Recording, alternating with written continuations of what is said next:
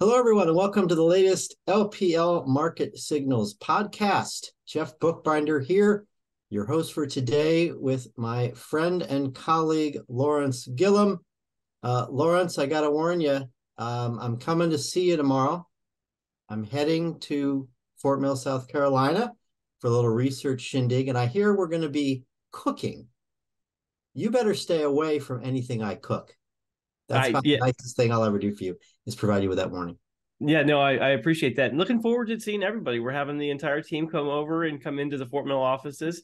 We are doing a cooking event. Um, I'm, I'm a better eater than cooker, so we'll see how that that plays out tomorrow. Well, maybe maybe we'll be able to fire up the grill because if you want somebody to just throw a burger on a grill, I'm your guy. Anything more than that, uh, look look elsewhere. So looking forward to seeing you and the team, Lawrence. That'll be fun. So, um, and to see uh, our producer, Neil. So um, let's get into our agenda. Of course, you all could have guessed this before you saw this slide on the screen, right? The UBS Credit Suisse. We got to lead with that. Certainly uh, the big news over the weekend. But as we always do, we'll do a market recap after we talk about this deal. Um, and of course, preview the week. Then we will uh, talk about contagion risk, right? We have several ways we can measure contagion risk. In fact, that was the subject of our weekly market commentary, which you can find on lpl.com. Uh, it's um, Monday as we are recording this, March 20th, 2023. Uh, and I did see that that commentary was indeed uh, posted just a few hours ago. So, um, oh, and, and of course, we'll preview the, while we preview the week, we'll preview the Fed. Big, uh, that's really the only big event of the week, other than just folks keeping an eye on the banks. So UBS Credit Suisse. Um, I'll set it up, Lawrence, and then I want to get your thoughts. I mean, clearly the most important thing here is that this shotgun wedding, as a lot of people are calling it, reduces the risk of contagion. Right?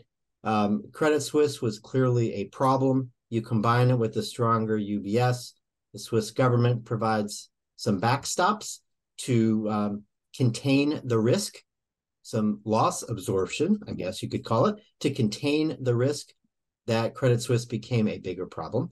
Uh, and um, you know that's a clear that's a clear positive.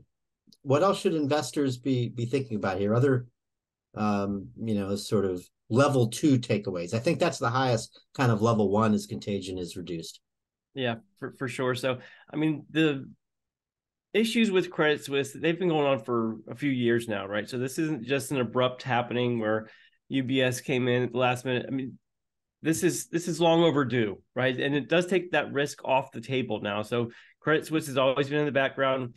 Will they default? Will they, you know, will they uh, uh go under? And and now that's that's off the table uh, because of, of the UBS uh, is it merger acquisition? How i don't know how we're, we're, we're framing it but uh, the, the shotgun wedding that took place it does take that credit suisse risk off the table which is uh, something that um, i think a lot of folks will, will be happy happy about. Yeah i'm sure books will be written about this one. Uh, these two bitter rivals right over many many many decades. I think you know credit suisse has been around for 150 years or something like that uh, now coming together, it's it's really and unfortunately, uh, a lot of folks are going to lose their jobs uh, as a result of this. So you know, kind of following how they put these pieces together and what the new organization looks like down the road, that'll be interesting to follow. Uh, but for our purposes, for you know, U.S. investors in general, uh, what they care about is the contagion risk, and so uh, it's down, it's not gone, right? Because those those Credit Suisse balance sheet risks are really tra- translating over, right? They're being sort of transferred uh, to UBS. So they're not gone. They're contained. They're limited, mitigated, but they're they're not um, uh, they're not gone. Um, and I frankly, uh, no other systemically important financial institutions that get the regulatory scrutiny that Credit Suisse is getting um, is under attack like Credit Suisse was. So I think we can sort of move past that as a source of contagion. Now we have to focus on uh, the regional banks a little bit more.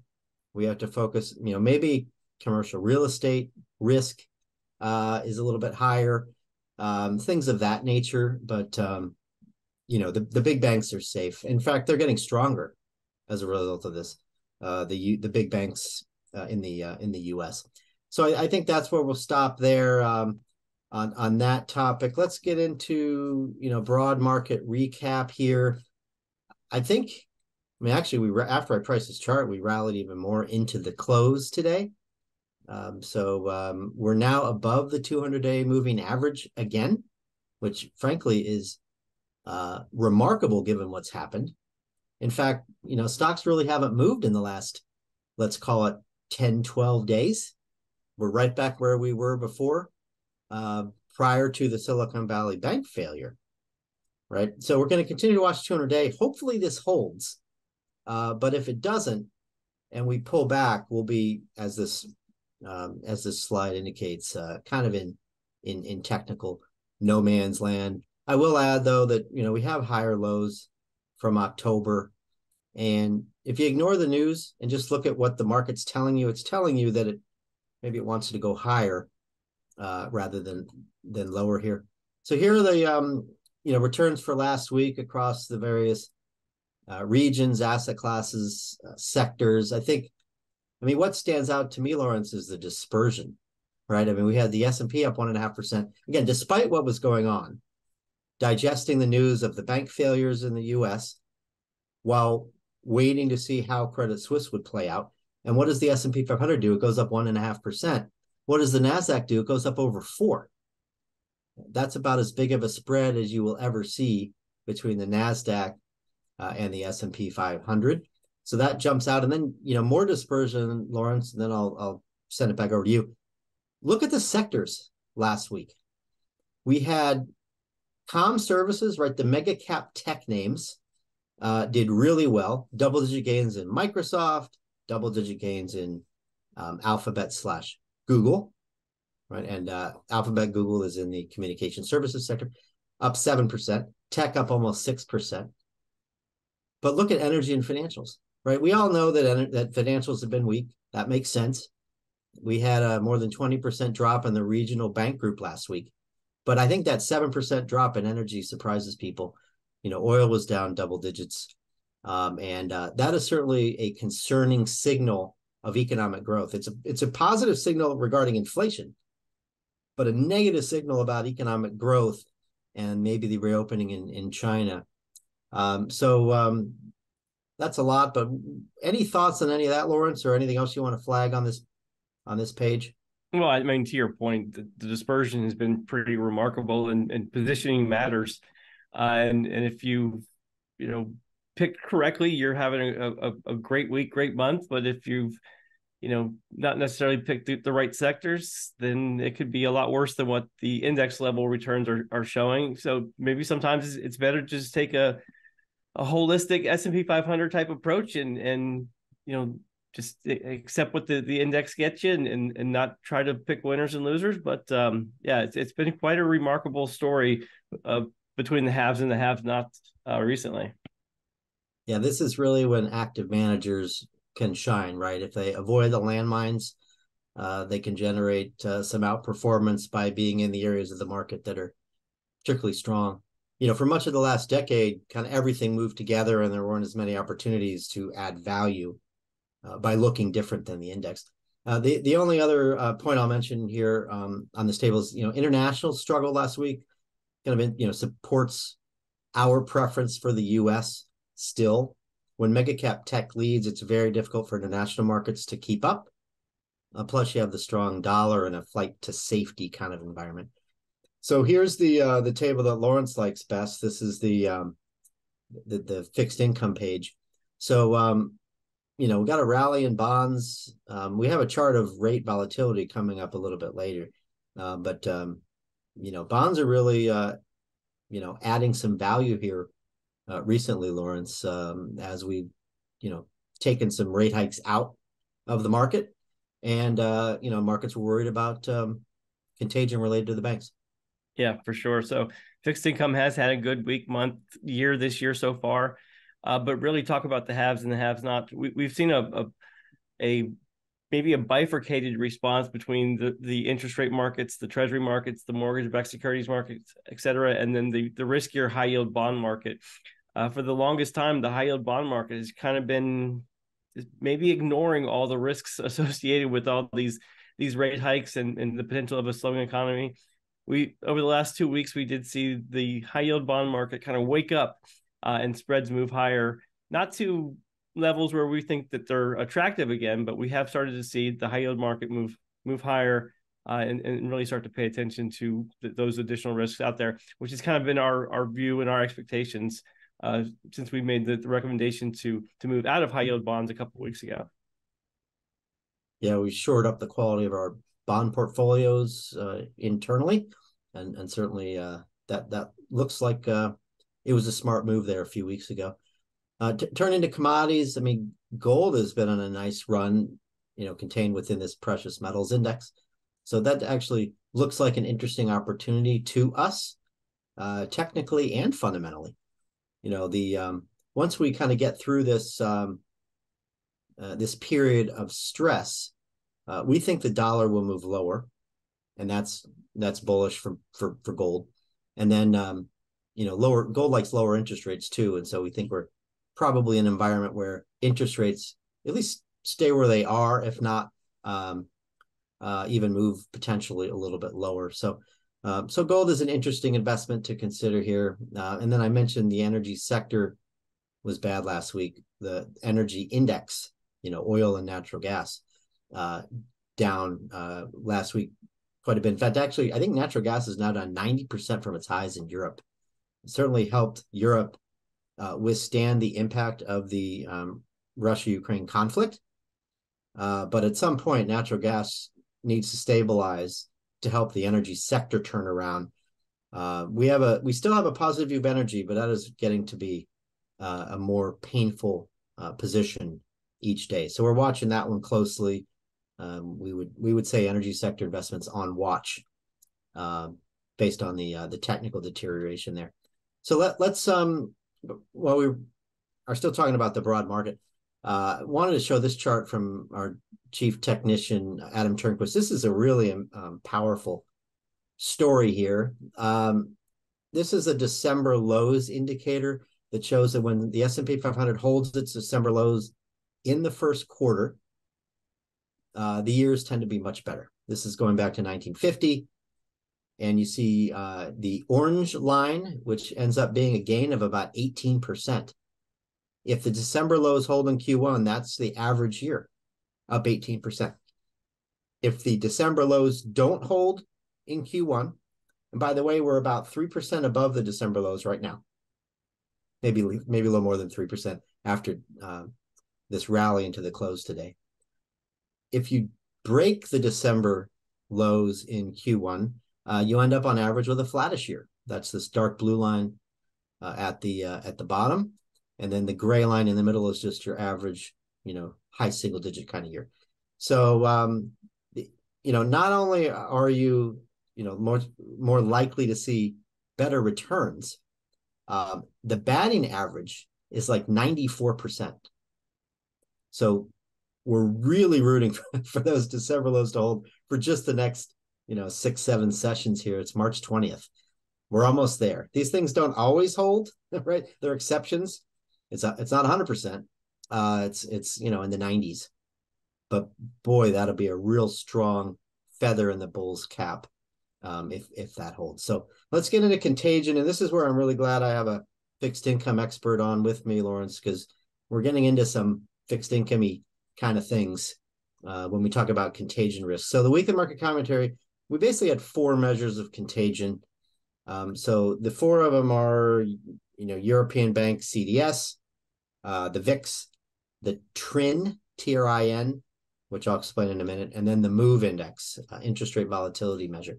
So um, let's start with European Bank uh, CDS, and uh, Lawrence, you can explain what a CDS is, um, and and then just talk about what you see when you look at this chart.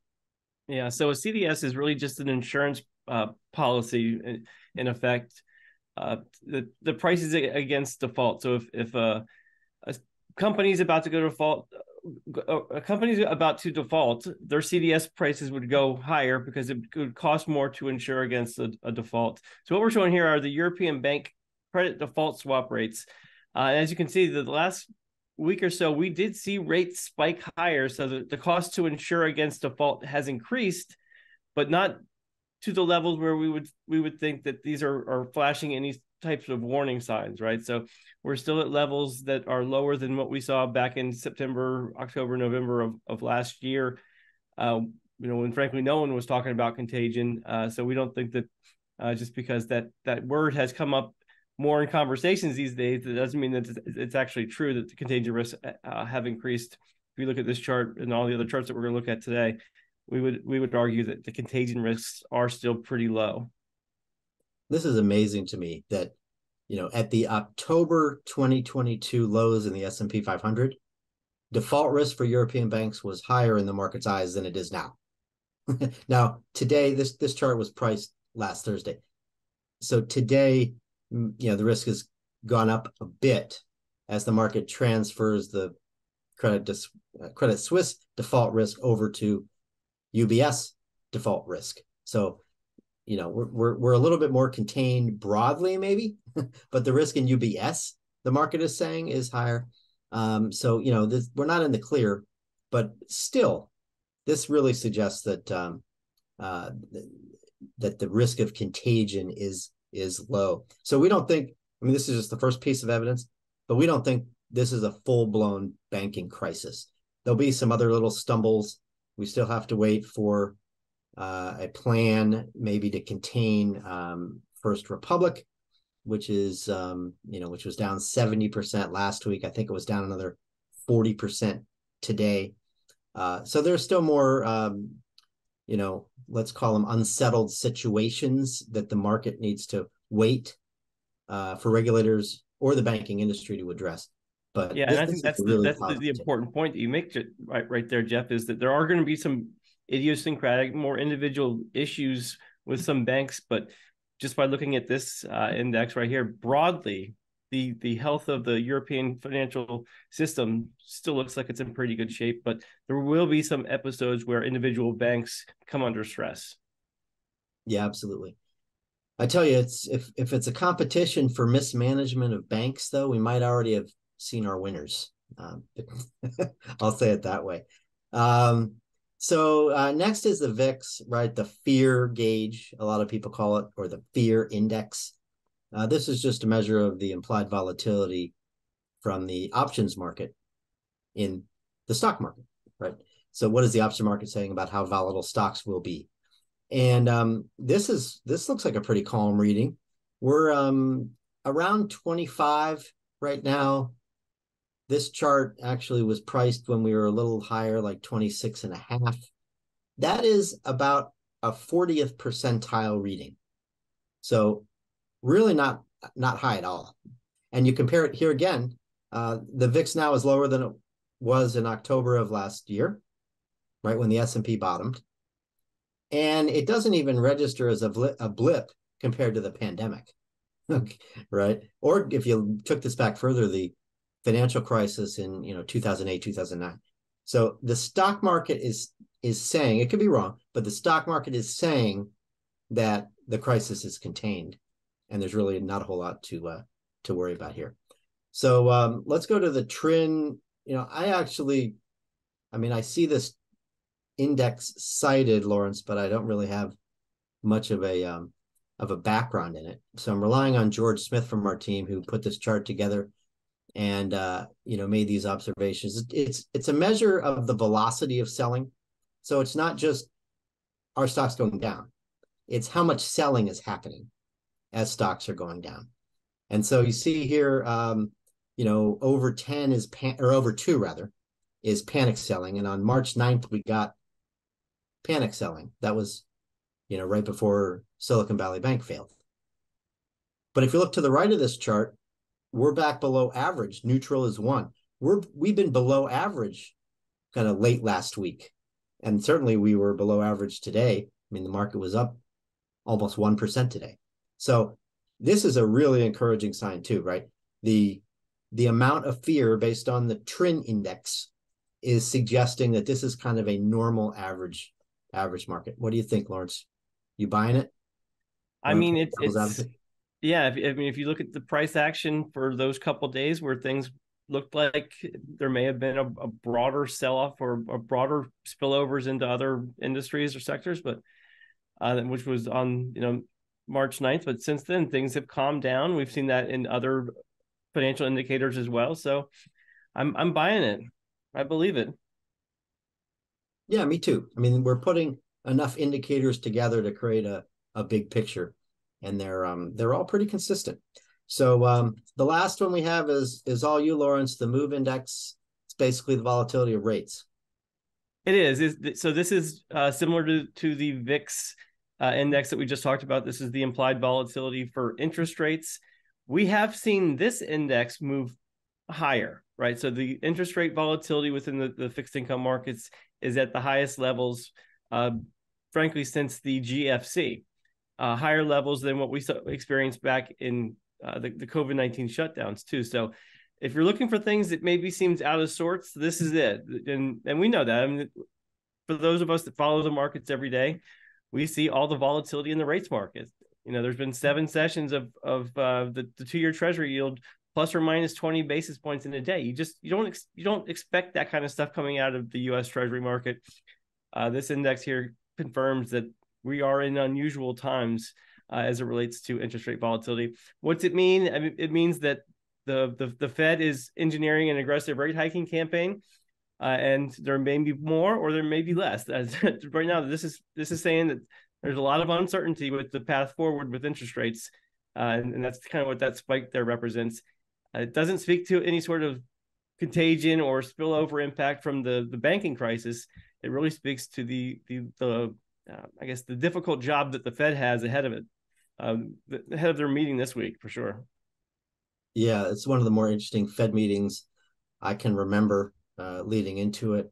I guess I mean when you when you hike rates over four percentage points in less than a year, and then you you know throw the whole market on its head with this banking stress and take a bunch of rate hikes out of the Fed funds market all in a very short period of time. I mean, it's no wonder we're seeing this uh, such such high rate volatility. Plus, we're in a very high inflation environment, as we all know, which you know rates have to respond to maybe differently uh, than they did a few years ago. So there, you know, there's some unique factors here going on. But I, I can tell you that I've paid more attention to rates now, you know, in the last probably um, a few months than I than I ever have in my entire life.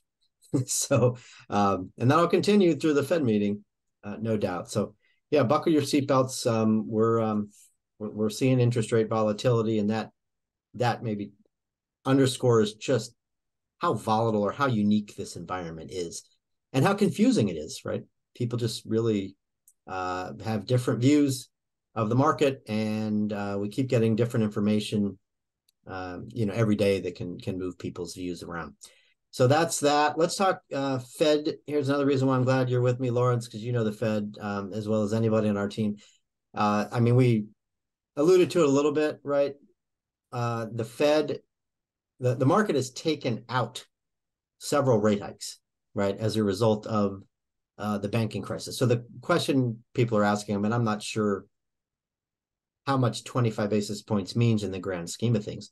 But the question everybody's asking is, are they going to go 25 or are they going to pause? And I can make a strong case for either. But I think what's probably more, more important is what's been taken out of the Fed funds market for, you know, the last, for, for the next several meetings, right? And how much the terminal rates come down. Yeah, it seems like it was only a couple weeks ago, and it, and it was when market uh, markets were pricing in a, a, terminal rate above 550, maybe, and we had some uh, people out there talking about a six percent Fed uh, terminal Fed funds rate, or even six and a half, seven percent. All that is out the window according to market pricing.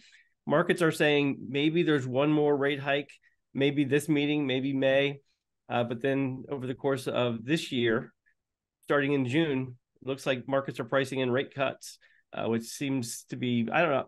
I, I don't really fully believe the the market pricing. I think maybe they've gone the market's gone a little bit too far too fast. Uh, but I think what is is interesting is that um, yeah, just the the the rapid repricing that we've seen over the over the last two weeks. Over 150 basis points of rate hikes have been taken out of the market, which is I, I can't remember the the market moving that quickly uh, when we're talking about you know expected rate hikes turning into rate cuts. Unbelievable. Yeah. So if you look out to the end of the year, you know, you're talking about going from like 540 to 390, you know, in just a few weeks. It's really uh, unbelievable. These are just the three uh, Fed funds curves February 16th, March 9th, March 15th. And that arrow just shows you how the terminal rate has come down from, yeah, about 5.5 to a little over 4.5, um, close to 4 set, probably close to 470. So um, just a historic uh, move, uh, no doubt. And um, yeah, I agree with you, Lawrence. Um, even though I'm kind of an amateur Fed watcher, not a pro, but I think the market has gotten a little too aggressive pricing in these cuts. And after the um, the ripples from the banking stress calm, uh, we'll likely see the you know these curves uh, move higher. So yeah, I, I think if the Fed is looking at the same sort of financial indicators that we're looking at, and, and they do, I think they'll see that maybe the, the, the chances of contagion, the can uh, the chances of that spillover risk maybe aren't as great as uh, one would expect. So, you know, our and, and, to your point earlier, I think it's it's, it's exactly right. We can make a, a cogent argument for a pause or for a 25 basis point hike at this next meeting given kind of all the all the you know the, the, the events that have happened over the past two weeks our view is that the fed's going to hike rates by 25 basis points uh, at this meeting um, but again, it wouldn't surprise me at all if they said we're going to take it slower and, and raise rates by 25 next next meeting. So we'll have to see how this one plays out. I'm from Kansas City, so anytime I can bring up the Kansas City Fed, I have to take advantage of it. So Tom Hoenig, the former chair uh, of Kansas City Fed or president of the Kansas City Fed, uh, said that the Fed hasn't decided this yet. right, so they're going to let like right up until the last minute and look at what's going on with the banks before they decide what to do. So, and I actually, I think I buy that. I think I buy that. It's really, um, it, it it's a close, uh, it, it's it's a close call. The only so, thing I would um, add too is that the the ECB raised rates by 50 basis points last week during all of this tumult. So I think uh, there is there is a history, there is precedent of, of a central bank hiking during kind of financial stresses like this, especially if they think that these financial stresses are are behind us. So um, it would be interesting if if the ECB hiked rates uh, by 50 basis points last week and then the Fed does nothing.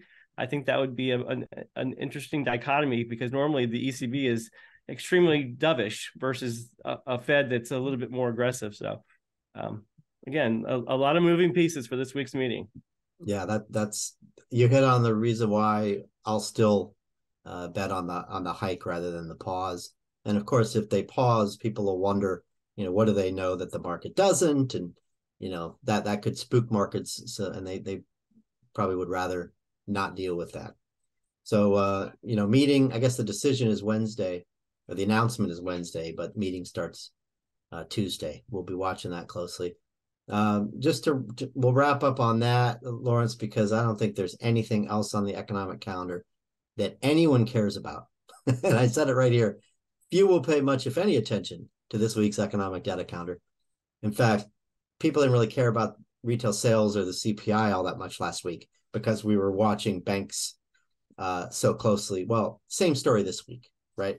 I don't think any I mean, you could challenge me on that if you see a data point here that you really think the market's going to care about. But frankly, uh, I think it's all about all about the Fed and then, you know, watching bank headlines. Yeah, for sure. I, I, I agree with you. This meeting it also comes with a, an updated summary of economic projections. So we're not only going to get uh, potentially another 25 basis point rate hike, but we'll also get the Fed's expectations on inflation, growth, where the dot plot is going to settle out over the over the next few years, which may be interesting to see how or if those those expectations have changed. Uh, I would have to imagine they would. So we'll have to see how that uh, how that looks on on Wednesday as well. But uh, no, to your point, there's really nothing else on the calendar this week uh, that's going to trump the uh, the FOMC rate decision on on Wednesday. Absolutely. So uh, I guess I'll end with another promo for the weekly market commentary, please take a look at that on LPL.com. Uh, we actually put some investment ideas in there uh, at the end for this environment. So um, that I think should be uh, of interest to uh, to many of you. Thank you, Lawrence, for joining. Uh, thank you, all of you, for uh, tuning in to another LPL Market Signals podcast. Uh, Lawrence, I look forward to seeing you tomorrow in Fort Mill. Hopefully, uh, the flight is on time. Safe travels for sure. We shall see. And again, reminder don't eat anything I cook. We'll see you next week. Thanks, everybody.